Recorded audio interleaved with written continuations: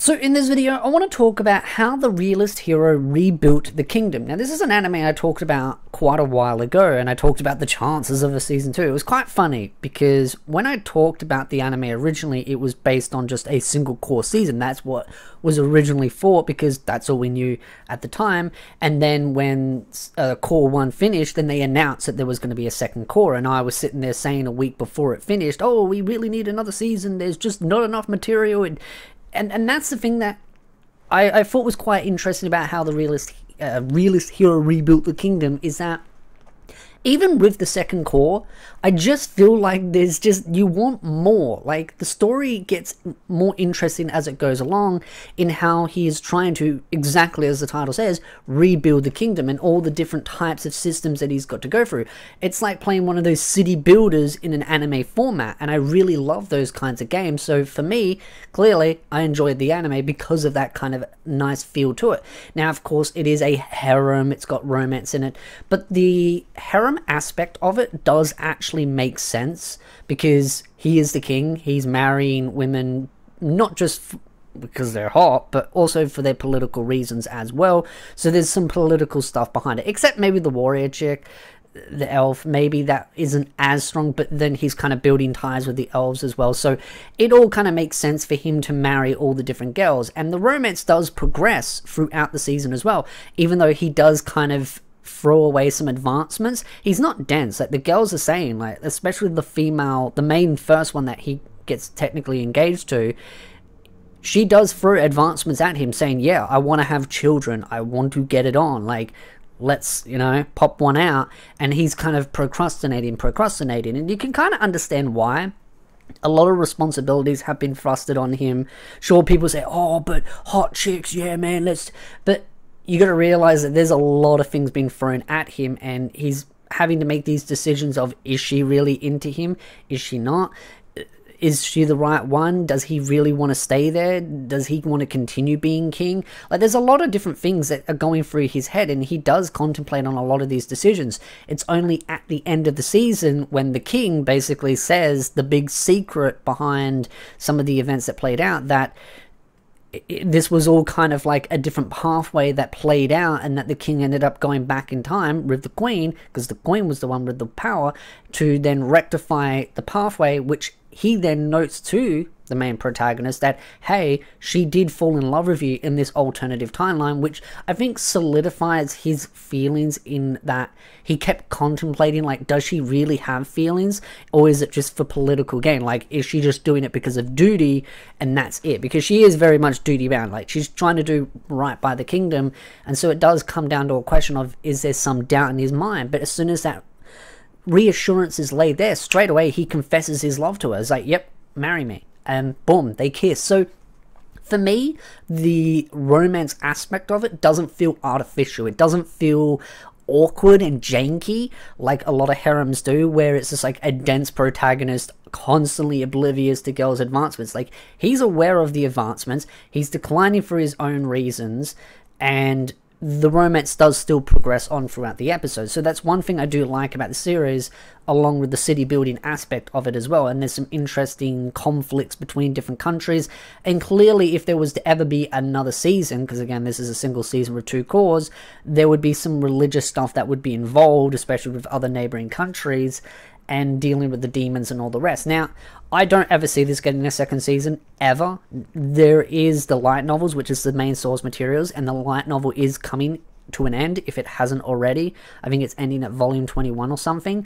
And so for me, I kept debating on reading the light novels. Sometimes I go to go into my uh, into the city for the bookstore, and I see that some of the books uh, being sold. Like they've been they're for sale and well not like a sale like as in like discount but they're just there for sale for people to purchase. And i always keep debating to myself should i read the light novels? Should i read them? But the reason why i don't is just because there's so many other light novels that i'm reading on the other channel. Oh actually other channel is this channel. So i was kind of thinking it was a news video. But that's the thing. It's it's just one of those where i'm like eh, there's too many other light novels to read. And that's one of the downsides about animes like this is that they're used as a source material seller.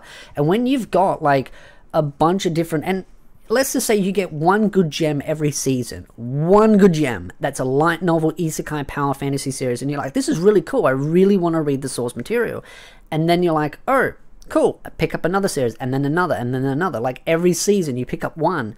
Before you know it, you within like three years, you've got like 12 different series you're trying to keep track of. And then you've also got to maintain reading mangas, watching animes, real life stuff, work, etc. And, and it becomes increasingly harder to maintain all those different light novel series. It's one of the downsides about sort of the anime industry is that a lot of stuff is just source material to sell it. Now, I know some people say, oh, well, I read all these different volumes. Again, I know some people have a lot more dispensable time when it comes to reading an astronomical amount. Some people are much faster at reading light novels. I'm a little bit slower.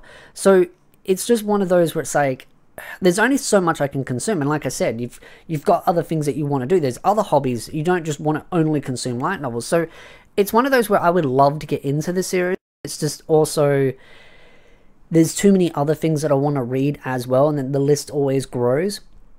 I would I don't see this ever getting a season two as much as I would absolutely love for it to get a season two because there's so many things that I kind of wonder where the story will go as far as the religious group, the demons, more political stuff going on. Like, was the stuff that was kind of making things too easy really just the king's doing or was there some other stuff going on like there's a lot of little strings that i would be very curious to see play out and what the ending would entail do they really just finally defeat the demons or is there some type of negotiation where maybe some demons and this was something i thought maybe could happen is that there are some demons that are not completely on board with just being part of this demon lord army kind of thing and some of them might end up fracture away and join in. And then there's that whole political issue of well how do you bring in demons that want to join the fold and make them as a part of society and then integrate them? And so, so there's so many other interesting aspects that you could bring up in this story that i think would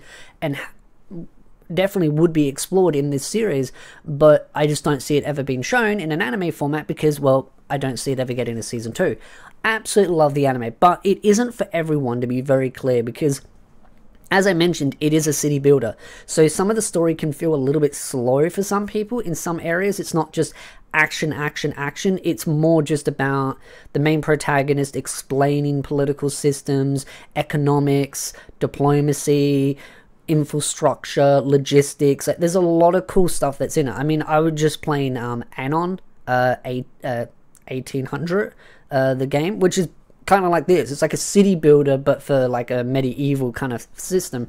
And that's the thing. I love city builders. I love this idea of building roads, building trading posts, building cities up, worrying about, well, what about education and all these kinds of different systems that you've got to build out. Like, that to me is just something I really love. And so seeing it in an anime format, it's just an absolute treat. So if you are into city builders, definitely give it a try. It's again an isekai. It's a power fantasy, but it's more of an aspect of an isekai world building harem romance because the romance is very much prevalent. It's very much being built, and it isn't just one girl. It's four girls. Now, of course, that could grow the main female protagonist did indicate that he could have up to eight girls. That's what she agreed to, one for each day, because there's eight days in a week for that world. To be just to rectify that before someone says, "But there's only seven days." Yes, but this is a different world, so they kind of. I think they made that rule just so they could add eight girls. So I think the intent was to have eight different girls. I would want. I do wonder if they added more girls, would it hurt the story?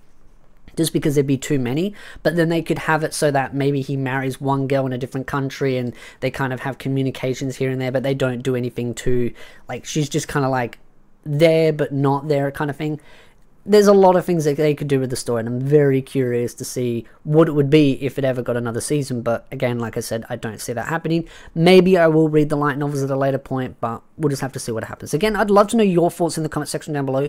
What did you think of this anime? What do you think was done well? What do you think could have been done better? Have you read the source material? What are your thoughts about the source material? Do you think the story after season one holds up to, or does it go downhill? Again, not every volume is going to be top peak it's always going to be a roller coaster of some good, some bad volume. So again, love to know your. If you like this video, hit the like, subscribe, and I'll see you beautiful nerds in the next video.